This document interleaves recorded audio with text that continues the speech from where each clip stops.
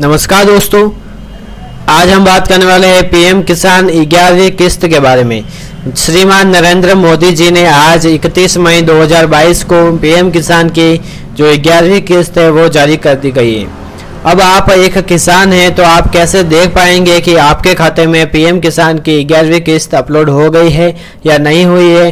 अगर नहीं हुई है तो क्या प्रॉब्लम है? सारी डिटेल्स मैं आपको इस वीडियो में देने वाला हूँ कि आप घर बैठे आसानी से कैसे पता कर सकते हैं कि आपके खाते में ग्यारहवीं किस्त जमा हो गई है या नहीं। अगर नहीं हुई है तो कैसे कर सकते हैं? तो चलिए वीडियो को स्टार्ट करते हैं। उससे पहले दोस्तों, अगर आप हमारे यूट्यूब चैनल पर नए हैं तो चैनल को सब्सक्राइब कर ले आप देख रहे हैं डिजिटल सामलेचा यूट्यूब चैनल। इसमें जो है काफ़ी सारी ऑनलाइन योजनाओं की जानकारी सीएससी और मित्र से जुड़ी। और कई सारी इंफॉर्मेशन आपको यहाँ पर जो है मिलती रहती है।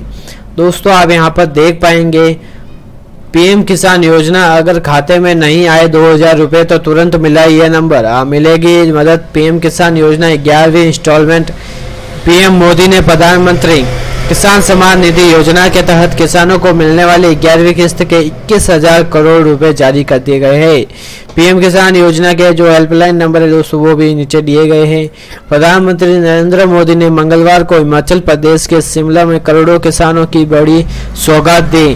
पीएम मोदी ने प्रधानमंत्री किसान सम्मान निधि योजना, पीएम किसान योजना के तहत मिलने वाली ग्यारहवीं किस्त के इक्कीस हज़ार करोड़ रुपए ट्रांसफ़र कर दिए गए हैं।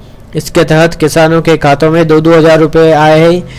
दस करोड़ से अधिक किसानों को पीएम किसान योजना का लाभ मिला है। और दोस्तों, यहाँ पर आप देख पाएँगे, पीएम किसान योजना के हेल्पलाइन नंबर भी यहाँ पर दिए गए हैं। पीएम किसान योजना टोल फ्री नंबर और यहाँ पर दोस्तों देख पाएँगे आप, हेल्पलाइन नंबर भी आपके जो है, यहाँ पर दिए गए हैं। आप यहाँ पर इसे नोट भी कर सकते हैं।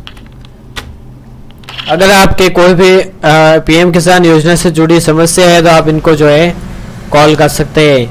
तो दोस्तों, और मैं आपको बता दूँ कि घर बैठे आप कैसे चेक कर पाएँगे कि आपके खाते में या आपके ऑनलाइन जो इंस्टॉलमेंट कैसे अपलोड हो चुकी है या नहीं।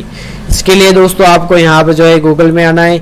आप यहाँ पर मोबाइल में भी जा सक, कर सकते हैं, कंप्यूटर पे भी कर सकते हैं। यहाँ पर गूगल में आकर के आपको लिखना है, पीएम किसान।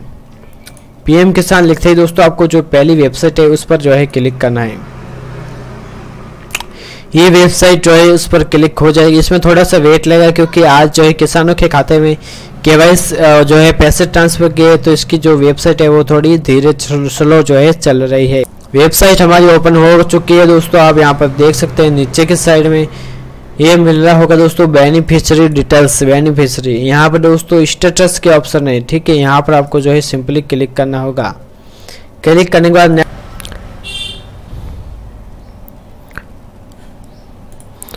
फिर दोस्तों यहाँ पर देख पाएँगे आपको साइड में जो है बेनिफिट जो है स्टेटस का ऑप्शन मिल जाएगा। यहाँ पर दोस्तों जब आप बेनिफिशियरी स्टेटस के ऑप्शन पर क्लिक करेंगे तो यहाँ पर जैसे आप क्लिक कर पाएँगे बेनिफिशियरी जो है स्टेटस आपके सामने ये डैशबोर्ड ओपन होगा। यहाँ पर आप देख सकते हैं, आधार नंबर आपसे मांगे जा रहे हैं। यहाँ पर आपको जो है आधार नंबर फिल करना है, जो कि किसान भाई के होने वाले हैं। यहाँ पर जो है जो है हम आधार नंबर जो है फिल कर देते हैं।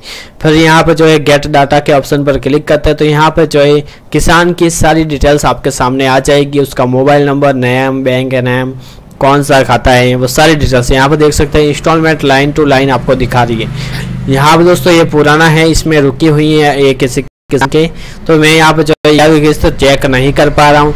अगर आपके लाइन टू लाइन पेमेंट आ रहा होगा तो आपके ग्यारहवीं किस्त का जो है पेमेंट भी बताएगा। नहीं तो आप देख पाएँगे, जैसे आठवीं किस्त के पेमेंट प्रोसेस बता रहा है, उस तरह अगर आपके नहीं आई है तो उसमें ग्यारहवीं किस्त में बता देगा। उस तरीके से आप जो है चेक कर सकते हैं, अपने जो है कैसे जो है आप इंस्टॉलमेंट घर बैठे चेक कर पाएँगे वो मैंने। इस प्रकार जो है आप घर बैठे पीएम किसान की ग्यारहवीं किस्त अपने खाते में आई है या नहीं, घर बैठे आप चेक कर पाएँगे।